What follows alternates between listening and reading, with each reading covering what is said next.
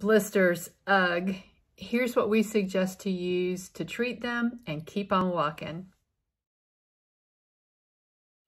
Do everything you can to prevent blisters, but if you do get a blister while you're over walking in Spain, or even if, if you're at home on your training walks, um, trying out your new shoes or whatever, do everything you can to prevent the blisters. Use your trail toes or Vaseline or petroleum jelly of whatever kind inside on your directly on your skin. Put your nice good fitting microfiber or wool socks on top of that and make sure your shoes are fitting well and laced properly. All of that is how to prevent blisters. But if you do get a blister, here's what we suggest using. And I happened to have a one day, just a couple of days ago, where I ended up having to get out our blister treatment. So follow along and watch what I did to uh, be able to walk that day. Hi, it's Helen with Camino Provisions, and I wanted to share with you this morning uh, a little demonstration of one of our favorite blister treatments. And it's by Spenco Second Skin. And uh, I have somehow picked up a few ant bites on one of my toes. And so before we go out for our morning exercise training walk for our upcoming Camino, I need to uh, put something on my toe so that it won't get more irritated on our walk. So here's what I'm going to use. This blister treatment is just the greatest that we have found. I know a lot of people use Compeed when they're in Spain and get blisters. We found out about this in 2007 when we were getting ready for our first walk and we took some with us from the United States so I don't know if it's available throughout the world. You see right here,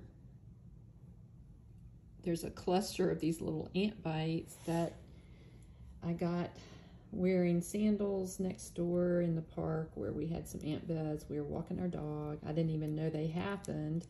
But this morning when I was uh, getting ready to get my shoes on for our training walk, I discovered the little cluster. The little squares in the jar, I don't know, there's several hundred of them like that. And they have two parts that you peel off to reveal the little gel square itself. And then you put that over the blister, or in my case, my ant bites, is, is trim some of this off because I don't need, need it to be so wide.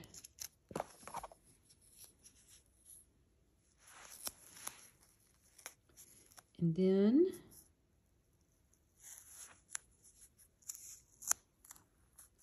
you just cover that gel square with the adhesive.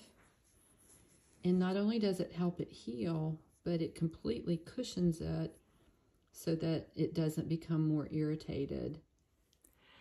So that's it. Pretty quick and easy. And now we're off to do our training walk for this morning before it gets too much hotter outside.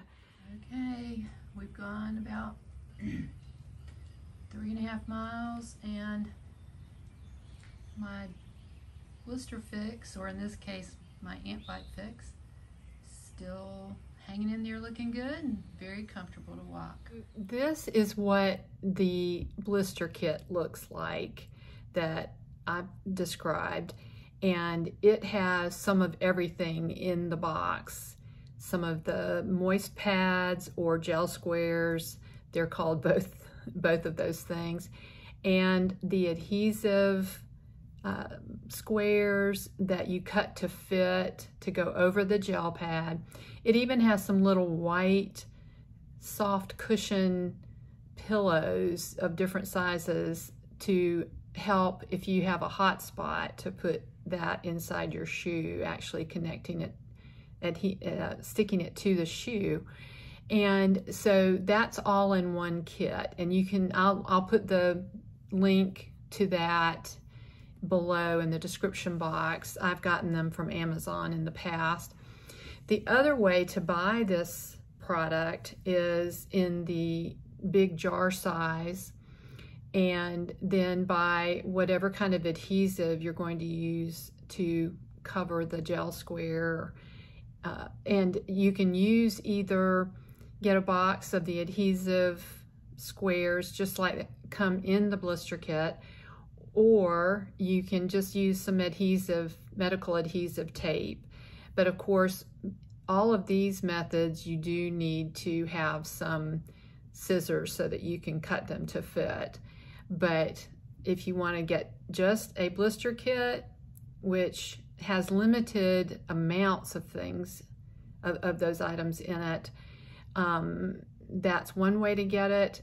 I think it's under $10. And then if, if you're going to be gone longer and want to take more of this with you, the more economical way is to use the jar and you might be able to share that with some friends or something. I hope you never get a blister.